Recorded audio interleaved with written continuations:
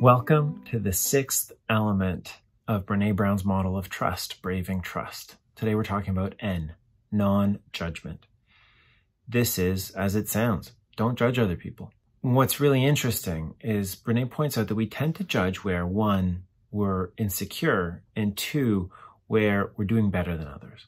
So when you do notice yourself judging other people, this is a great time for you to sit back and dig for some self-awareness and say like, what is it that I'm insecure about here? What is this judgment telling me about myself?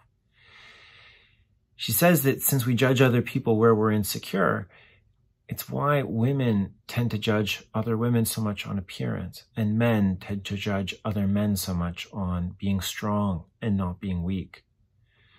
Personally, I know I find myself judging around parenting. And when I think about it, it's because I have no clue what I'm doing. It's hard. It's hard as shit, you know, and, and I'm lucky that my partner is amazing and I look to her all the time for how I should be a model father.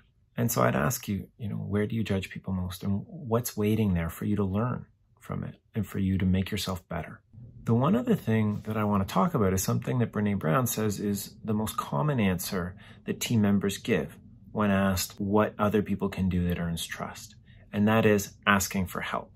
That means if you're not sure what to do, ask for help. Don't judge yourself. Just get over it, get over yourself, ask for help.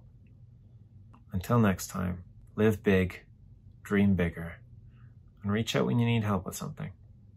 Be well.